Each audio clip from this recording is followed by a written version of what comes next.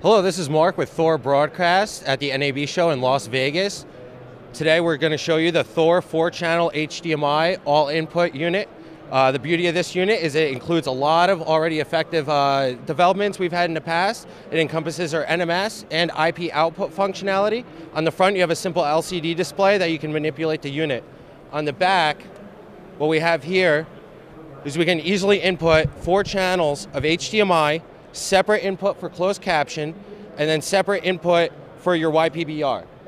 So essentially, you can put four channels encoded on four QAM frequencies.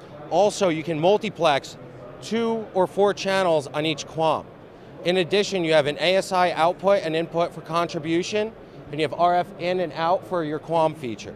Together, this chassis can do ASI contribution, QAM, and IPTV output, making it an all-inclusive unit that Thor has been able to produce for you guys uh, here at the NAB show.